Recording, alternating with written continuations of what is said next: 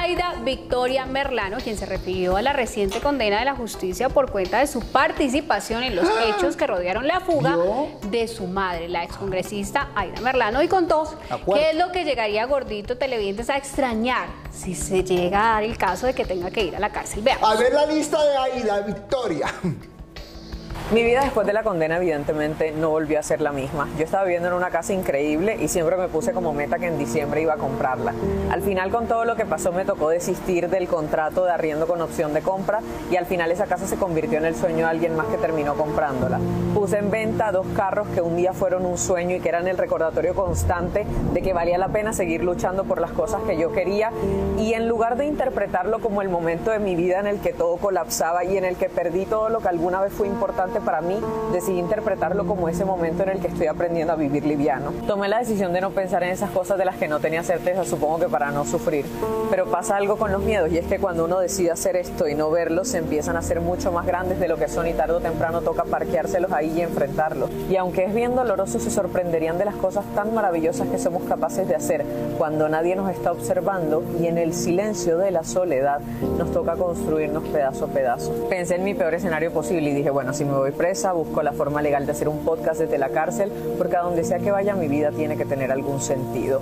Seguiré haciendo ejercicio como lo hago a día de hoy y sobre todo no dejaría de ser yo, pero pensando en las mil posibilidades de las cosas positivas que yo podría hacer ahí, no pude evitar pensar en todas las cosas que estaría perdiendo. Una cama cómoda con una pareja que me abraza todas las noches, la fortuna de poder trabajar con mis mejores amigas, el poder ir a donde yo quiera cuando yo quiero, esas cosas que se pierden en la cotidianidad de los días. Pero en lugar de ser esa una razón para entristecerse, creo que es una razón para sentirse muy afortunado, porque uno no suele pensar en esas cosas a menos que esté a punto de perderlas. Yo no sé, pero a mí me encanta cómo se expresa A mí Victoria me parece que está hablando como cuando uno pone el WhatsApp del 1.5. Ay, Dios mío, casi Ay, no, a mí me encanta. Es una mujer elocuente, una mujer inteligente, dijo?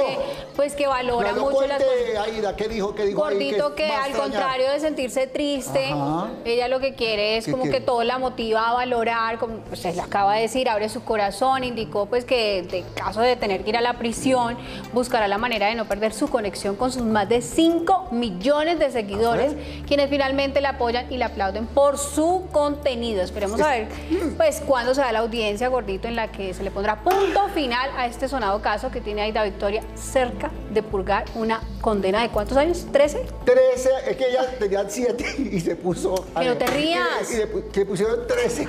Ay, Dios mío. Bueno, esto. Vamos a ver si la justicia que actúa al Pero respecto. sí, respecto a eso, gordito, y escuchándola, hay dos ¿Qué cosas que tenemos que valorar mucho, la salud y la libertad. ¿Vio? Así que hay que ser agradecidos. Bueno, aquí metimos en la lista a Aida Victoria, también fue siniestra mía, ¿no?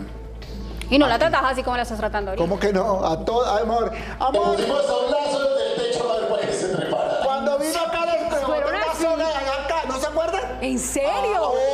Ay, no, qué maravilla.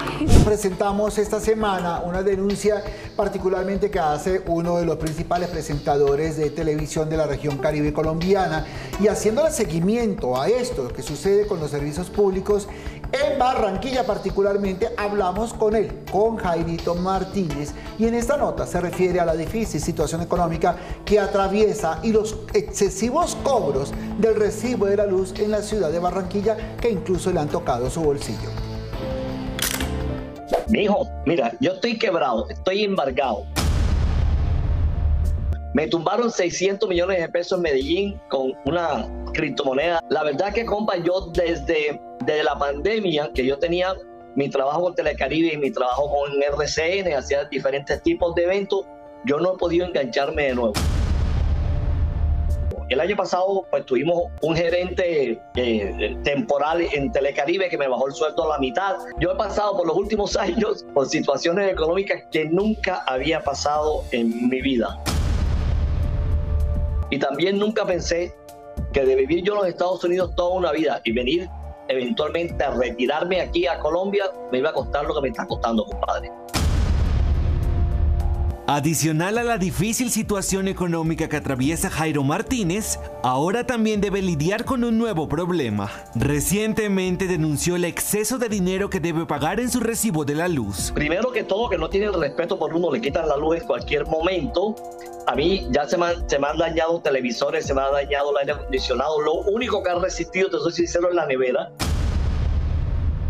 Y a ellos les importa un carajo. Además, de 350 mil pesos que yo pagaba en abril del 2023, ahora este último me llegó en 1.172.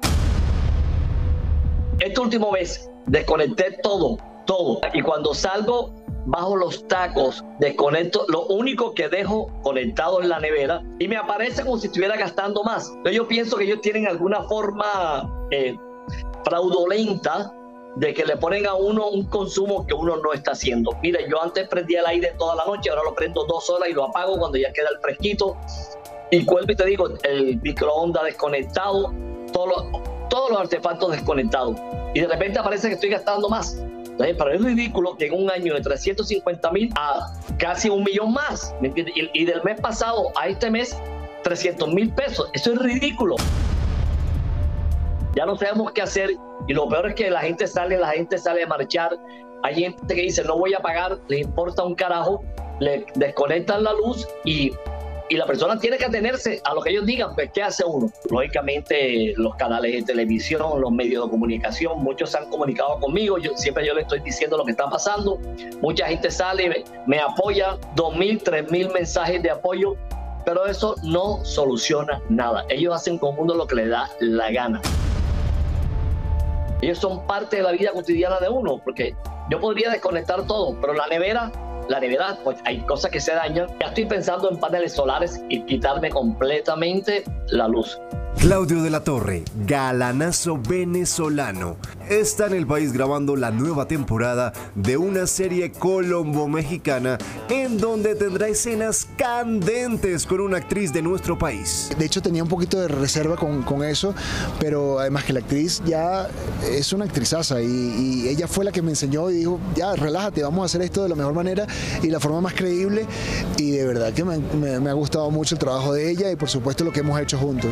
Y es que Claudio está acostumbrado a mostrar carnecita y le gusta, aunque diga lo contrario. ¿Tú eres calientarredes? Yo no soy mucho caliente. No, yo no. Yo no. No, no, yo no, en serio que no. Entiendo que las redes hoy en día forman una parte importantísima eh, eh, en todos nosotros, sobre todo nosotros los actores, pues eh, las redes nos apoyan muchísimo. Me cuesta meterme yo dentro del mundo de las redes. Quietas en primera porque su corazón ya está reservado y lo tiene una colombiana que conoció mientras participaba en un reality en Turquía. Eran seis hombres y seis mujeres que tenían que conocerse, pero con la condición, el premio era el que, el que llegara a casarse dentro de la isla. Si llegabas a tener o a contraer matrimonio dentro de la isla, te daban un premio de 200 mil dólares que al final pues no, no ganamos. La veo muy interesada, mi señora, pues le tengo más. Él también modelo es de lavar y planchar. Tras salir de Venezuela, se la guerrió en Estados Unidos. A mí las casas me quedan horribles. Las casas quedaban más feas que lo, como, como, como las encontraba. La señora me decía, y ya está limpia. Y yo, sí, sudando, sí, está todo limpio. Ah, ok, gracias. No, gracias, pero se veía claro que no estaba conforme con el trabajo. Yo decía, ¿pero por qué? Ay, Claudio, seguro ya tienes a más de una con ganas de ayudarte a tender la cama. Y con los nuevos proyectos en el país, tiempo es lo que tendrás. A mí Colombia me tiene enamorado, se los digo de una vez. Vamos a ver si Dios me quiere aquí en Colombia, pues así será, si no me tendrá en otro sitio. Pero, pero de verdad, rosas para Colombia porque, porque es admirable lo que ustedes hacen. Por ahora mucha atención porque el reconocido periodista Diego Santos nos habló sobre la marcha el próximo domingo 21 de abril en Colombia. Además también nos cuenta las razones por las que no se ha dejado ver al lado de su esposa, la periodista Vanessa de la Torre. Por eso responde a quienes han dicho que supuestamente se habrían separado. Veamos. Este próximo 21 de abril se llevará a cabo una nueva jornada de manifestaciones en Colombia conocida como la Marcha de las Batas Blancas. Esta convocatoria ha sido impulsada por diversos sectores preocupados por el sistema de salud y la democracia. El reconocido periodista Diego Santos es uno de sus promotores. En el activismo, continuando con la lucha por la democracia, ya es un tema más, más político y ahí hemos estado metidos los últimos meses y adelantando la marcha que se viene este domingo 21. Yo estoy cómodo opinando de política y creo que los colombianos deberíamos perderle el miedo a hablar sobre política, entenderla y a trazar una posición, porque es que al fin y al cabo la política es lo que mueve este país, es lo que permite que todo esto pase. Precisamente las diferencias políticas han sido la razón por la cual Diego no muestra con frecuencia su relación con su esposa, Vanessa de la Torre. Como ahora hay posiciones políticas, pues es mejor que cada quien tenga su espacio en redes y no mezclar peras con manzanas. No hay separación, no hay divorcio. No, so la gente habla mucho. Bien, ahí vamos muy bien, trabajando. Matrimonio duran mucho, mucho, mucho tiempo y eso todos los años hay que, todos los días hay que trabajarle a eso. Como fruto de ese amor nacieron sus dos bendiciones, Raquel y Carlota Santos de la Torre. Muy bien, grandes, bellas, ya casi adolescentes, que eso sí es, eso es una paridera, una paridera de verdad.